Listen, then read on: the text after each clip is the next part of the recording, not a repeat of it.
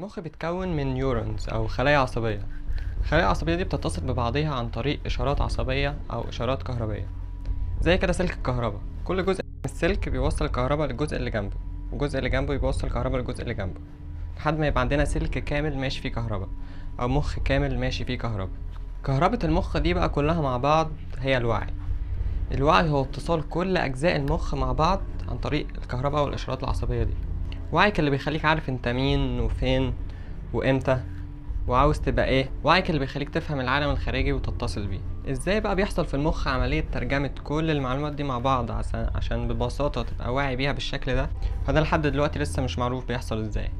المهم السؤال اللي بعد كده.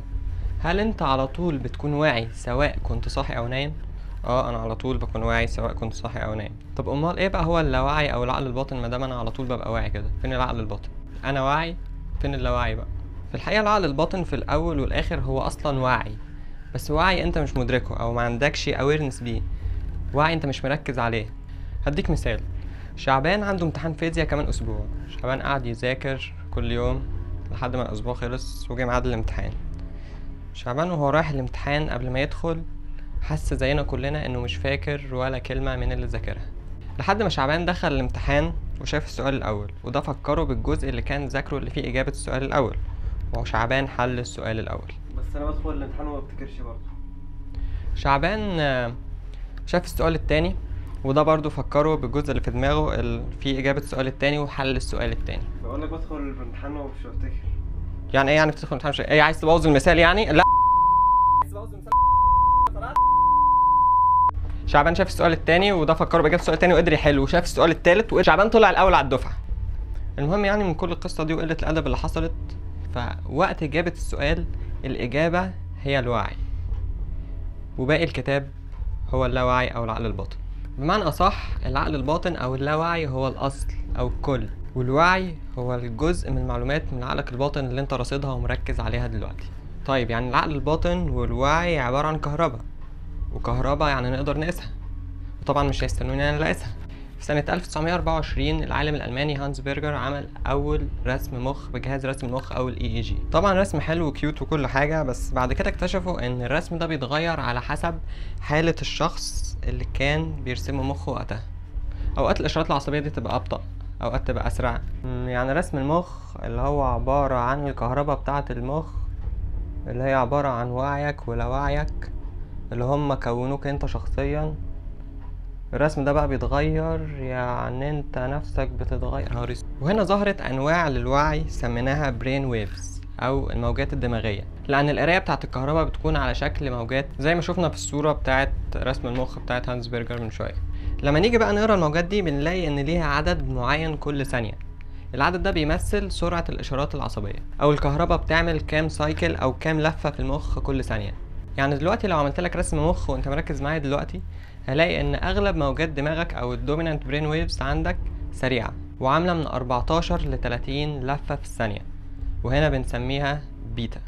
المستوى ده من السرعة بيدينا مستوى إدراكي بيخلي وعيك قادر يستخدم options معينة من عقلك الباطن. بيساعدك تكون مركز في شغلك مركز في المحاضرة اللي بتسمعها قادر تحل مسائل قادر تحلل اي موضوع باختصار بتبقى مصحصح. عشان كده القهوة ومشروبات الطاقة بتزود موجات بيتا في الدماغ عشان كده بتبقى مركز ومصحصح أكتر.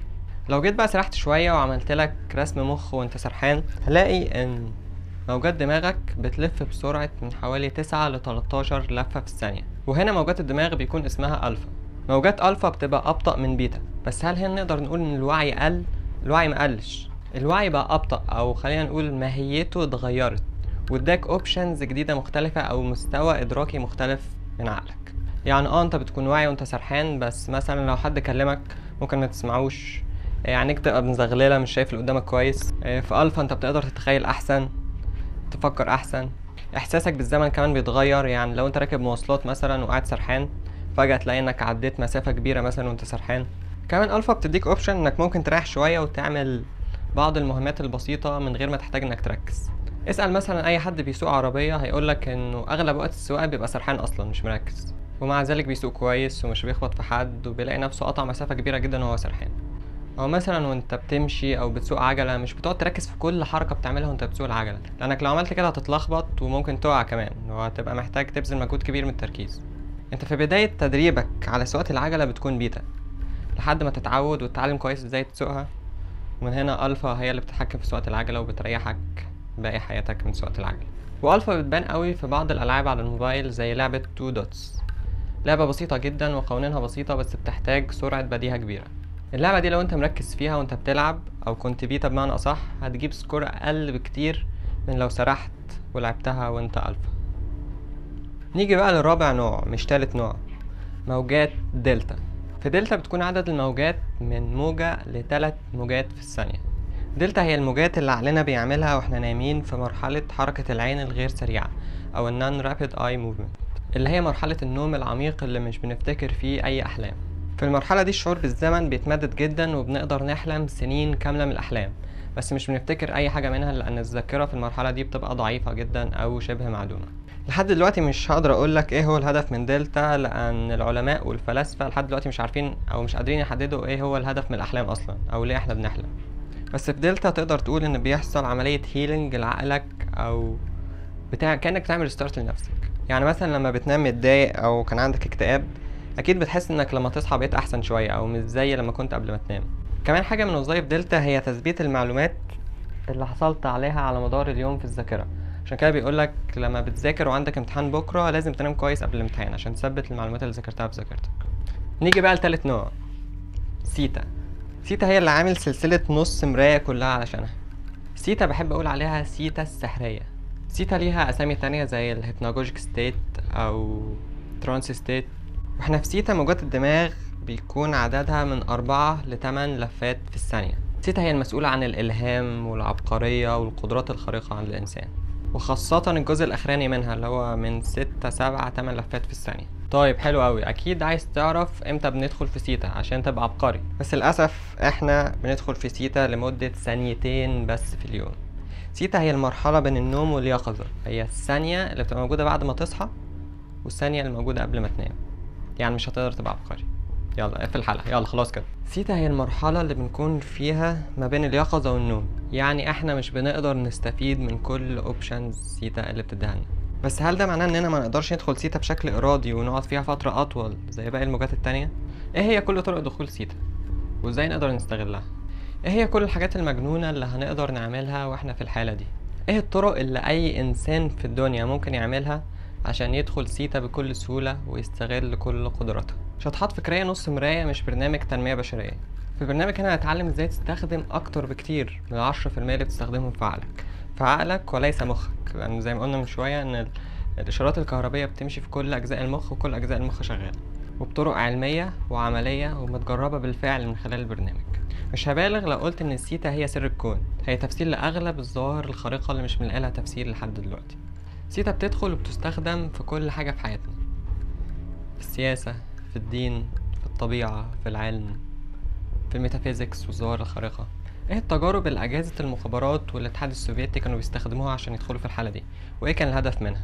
هل الإلهام والعبقرية مجرد صدفة ولا ممكن أي إنسان في الدنيا يبقى عبقري؟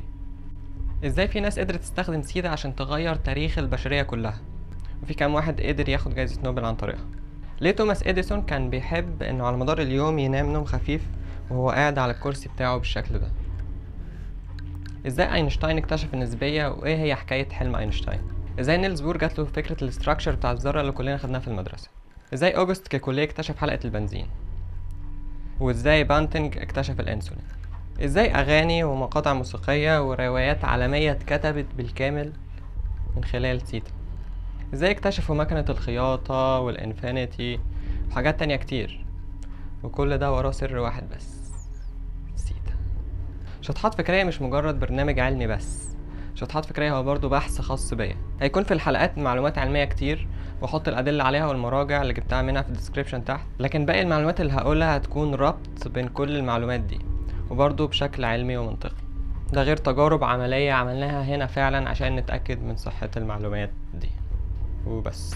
استنونا في حلقة تانية من شطحات فكرية نص مراية. إبراهيم مجدي.